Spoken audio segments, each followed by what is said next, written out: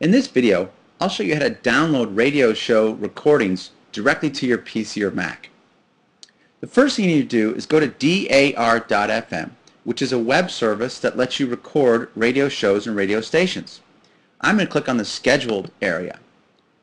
This shows me the items that DAR is recording for me. At the top are future recordings, things that have not yet been recorded. At the bottom are the things that have already been recorded. Once they say completed, they're available for download. You can see I have two shows, the Home Fix show and Lady Brain that have been recorded.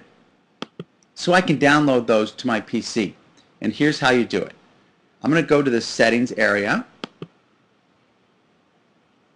and I'm going to look for my download URL. I'm going to click in the downloading section and here is the custom URL just for me. I'm going to highlight that,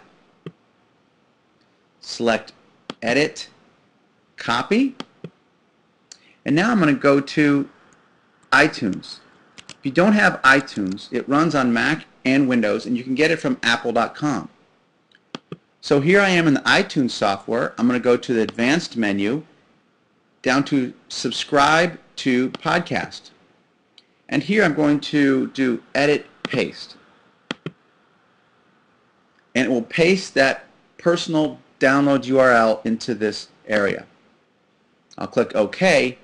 And now the iTunes software is going to connect to my personal downloads and list all these items here. I'm going to hit this download arrow right here to show all the items. And here's the Home Fix show and then Lady Brain. Now it's automatically going to get the first part. That's what you see happening up here.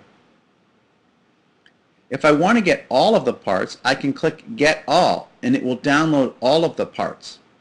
Now you may want to do this automatically, and to do that, click on the Settings area down here at the bottom.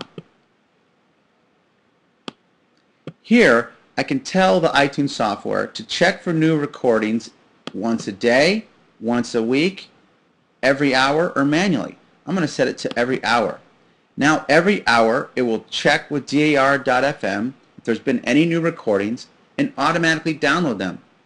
If I want even more settings, I can turn off the default settings and manage the recordings here. First is when new episodes are available, download the most recent one, download all, or this bottom one, episodes to keep. I can just keep last two episodes, last four, five, ten, etc. These settings might help you customize your downloading to better suit your needs.